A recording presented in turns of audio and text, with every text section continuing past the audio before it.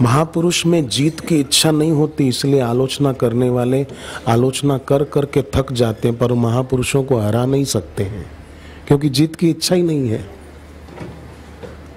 भगवत गीता में एक श्लोक आता है, बड़ा ही सुंदर श्लोक आता है। त्यक्तवा कर्म फला संग नित्य तृप्तो निराश्रया। नित्य तृप्त है। और उनकी तृप्ति जो है वो संसार के आश्रय से रहित है।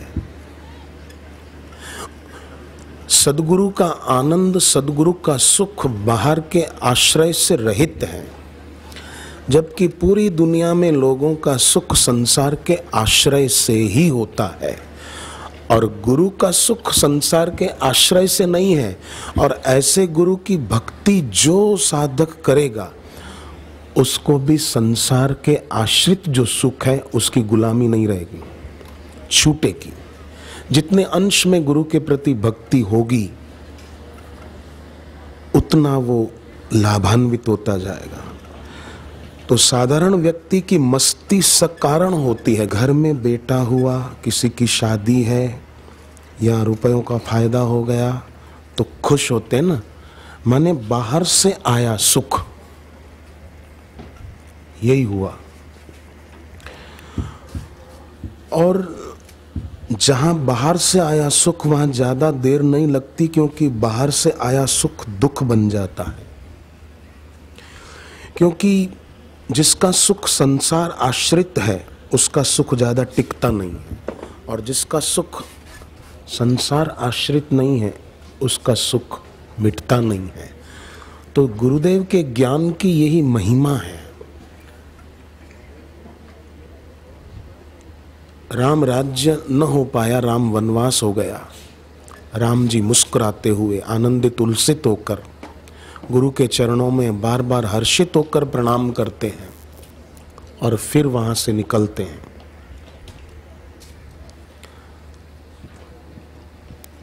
ये ज्ञान का प्रभाव है। हवा के झोंके से पत्ता हिला।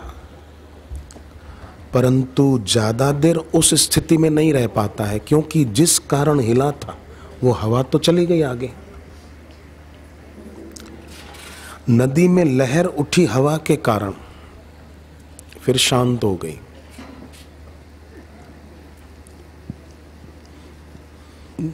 ऐसे ही संसार में क्षण भंगुरता है, और क्षण भंगुरता से आया हुआ सुख भी क्षण भंगुर होता है।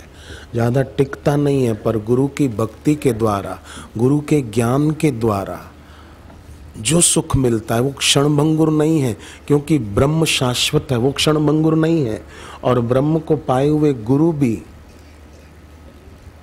वो ब्रह्म ही है। तो उनके सुमरण से जो सुख मिलेगा, वो क्षण भंगुर नहीं होगा। संसार में वस्तु व्यक्ति की दास्ता से जो सुख मिलेगा, वो क्षण भंगुर होगा। और ब्रह्म स्वरूप गुरु के सुमरण से और ज्ञान से जो सुख मिलेगा, वो क्षण भंगुर नहीं होगा। क्योंकि ब्रह्म शाश्वत है तो उस साधक को शाश्वत सुख ही मिलेगा। तो गीता में ये वचन है कि नित्य तृप्तो निराश्रया। सदगुरु नित्य तृप्त हैं और किसी के आश्रय रहित।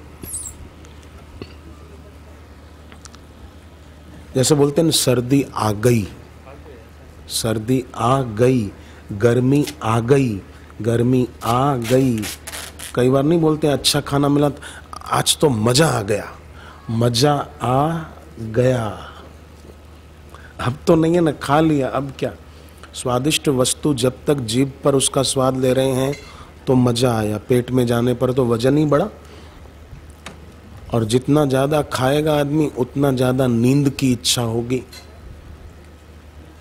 क्योंकि शक्ति गई खाने को पचाने में तो सो जाएगा। अब देखो, कोई आदमी चार घंटे सोता है तो उसको छह घंटे सोने वाला तामसी लगता है, पर ये गलत है।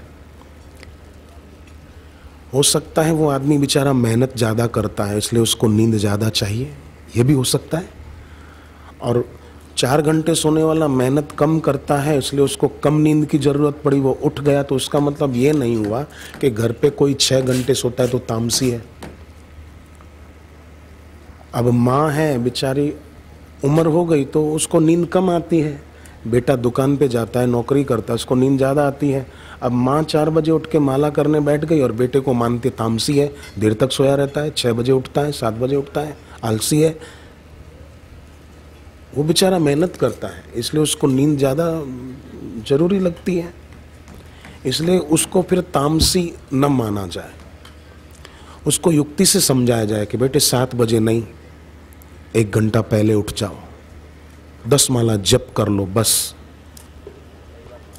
क्योंकि गुरु मंत्र का जप वो व्यक्ति के भाग्य को चमकाता है, उसकी भक्ति बढ़ाता है, उसके सुख को संसार के आश्रित नहीं रहने देता।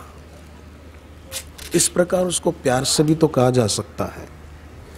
ज्ञानी गुरु का सुख संसार के आश्रित नहीं है।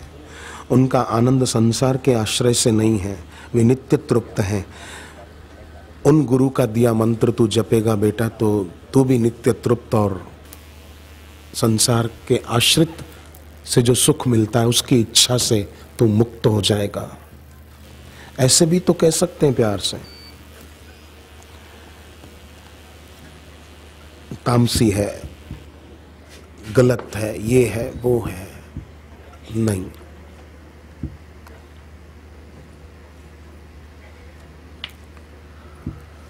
सब अच्छे हैं। कण कण में है झांकी भगवान की, किसी ज्ञान वाली आँख ने पहचान की। तो जिसके जीवन में गुरु है गुरु का ज्ञान है और गुरु के ज्ञान में जिसकी महत्व बुद्धि है, वो वीर विवेकी साधक। नित्य तृप्त रहता हुआ दूसरों को भी तृप्त रखने की ही बात सोचेगा, करेगा।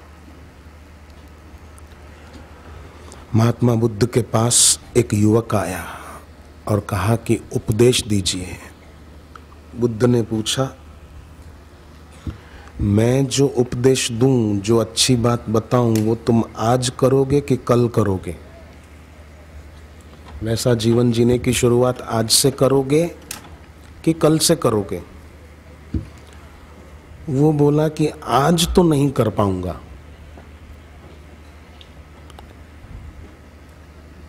आप मुझे सुना दीजिए अच्छी बातें। फिर देख लूँगा बुद्ध ने कहा, जब अच्छी बातें आचरण में लाने का तेरा मन हो। बोले, नहीं, मैं कल से कर लूँगा। मैं कल आ जाना।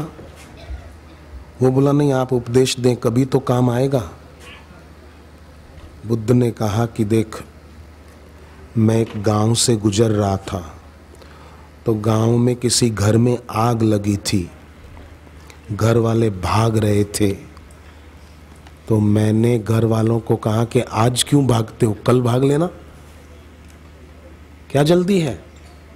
क्यों भाग रहे हो? कल भागना। तो घर वाले बोलने लगे कि महाराज, पागल हो गए हो क्या? घर में आग लगी है, बोलते हो कल भागना। मर जाएँगे उसका क्या? उनको तो आग दिखी, इसलिए भागे। पर लोगों को आग दिखती नहीं है। अंदर कामना और वासना की आग भी आग ही है। इच्छाओं की लपटें आदमी को दिखती नहीं है। उसको लगता है कि बस ये पूरी हो जाएगी तो मज़ा आ जाएगा।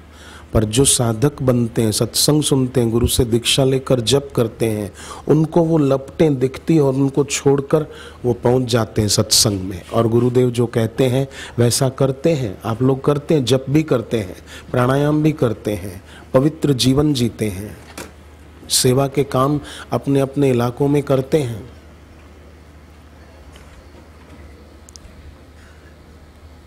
पर जिनको वो लपटें दिखाई नहीं देती, वो पड़े रहते हैं, अंदर ही जलते रहते हैं। तो भगवान उन भक्तों को देखकर खुश होते हैं, जैसे विदुर जी की प्रेरणा पाकर पांडव लाक्षाग्रह से निकल गए। ऐसे शरीर रूपी लाक्षाग्रह जले उसके पहले जो गुरु का ज्ञान सुनकर इससे ऊँचे उठते हैं। उन पर ईश्वर, गुरु राज़ी होते हैं। तो दूसरे के आश्रय से मिले हुए सुख का ही दूसरा नाम दुख है। या यूँ कहो कि वो सुख दुख का ही दूसरा नाम है। और वो साधक नहीं चाहता।